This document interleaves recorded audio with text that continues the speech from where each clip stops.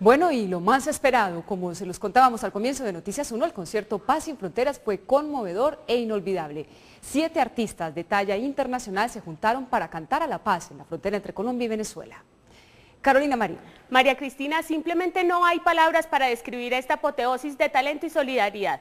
Desde luego musicalmente fue un espectáculo de talla mundial como corresponde a sus protagonistas, pero la reacción de las miles de personas presentes en el puente Simón Bolívar y el significado que tiene este gesto para Colombia, Venezuela y Ecuador le dieron al concierto una connotación realmente histórica.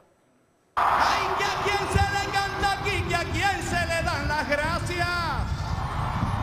que vienen de afuera o a los dueños de la casa. A cientos de miles de personas llegaron a cantarles siete artistas amigos obsesionados por la paz entre tres países que hoy compartieron más que una bandera.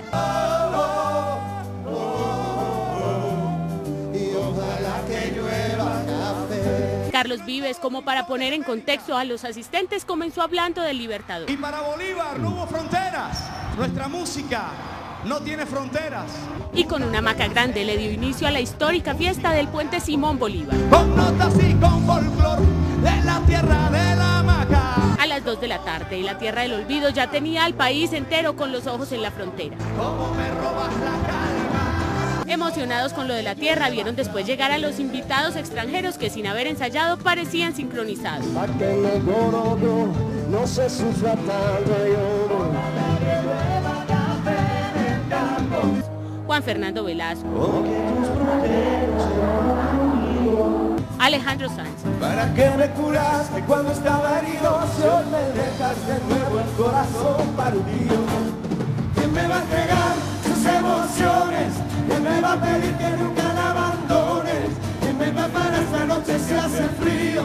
¿Quién me va a curar el corazón partido? Juan Luis Guerra. Y no lo quita la.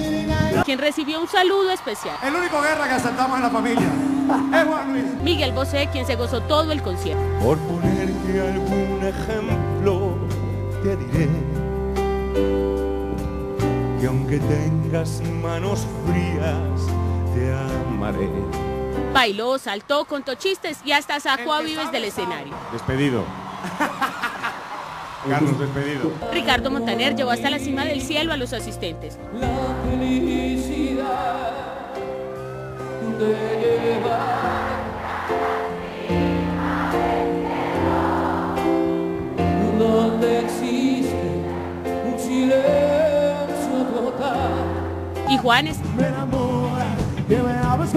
Me enamora. el broche de oro, el creador de un milagro en la frontera, hecho con las voces y los sueños de siete artistas.